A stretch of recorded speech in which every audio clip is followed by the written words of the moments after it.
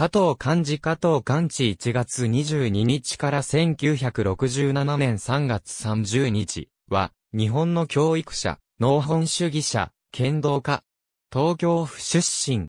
旧平戸藩藩士、加藤佐太郎の長男として生まれる。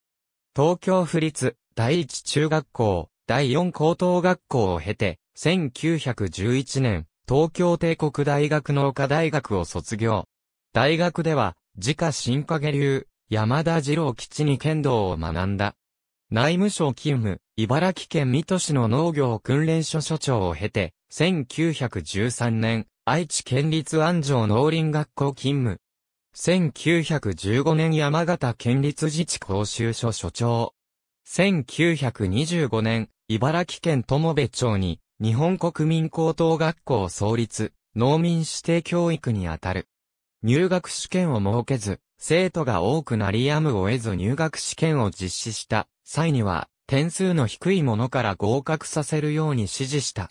また、武道による人間教育を唱え、直新影流法廷の形を指導した。当初は熱心なキリスト教徒であったが、後に古神道に改修、筧勝彦の古神道に基づく、農本主義を掲げ、関東軍将校で、満州国軍西部顧問の東宮鉄男と、満蒙開拓移民を推進した。満蒙開拓青少年義勇軍の設立に関わり、1938年、茨城県内原町の日本国民高等学校に隣接して、満蒙開拓青少年義勇軍訓練所を開設。8万人を輩出した。第二次世界大戦後、公職追放。GHQ から永久戦犯として召喚されたが、あなたは日本の再建にぜひ必要な人ですと敬礼をもって送り返された。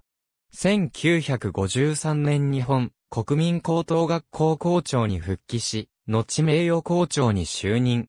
1967年、肝臓癌のため死去。ありがとうございます。